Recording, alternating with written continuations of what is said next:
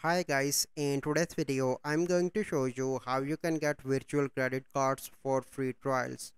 So the first step you need to search for the website that is privacy.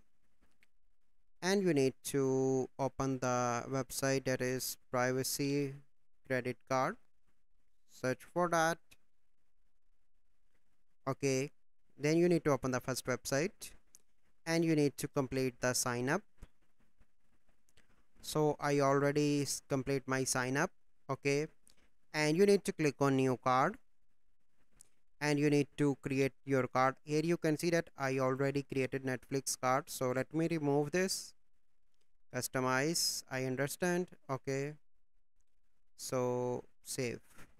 So this is the card uh, you can see that I already create an account create your first privacy virtual credit card virtual card I already created. Then you need to complete your profile and connect a funding source agree to our terms and make your first purchase with privacy. So click here finish sign up. So you complete your sign up process here. You need to give out your complete uh, profile uh, details.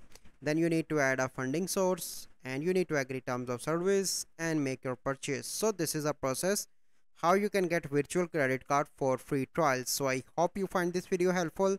If you find this video helpful must like this video subscribe to our youtube channel for future videos. We'll see you in the next video.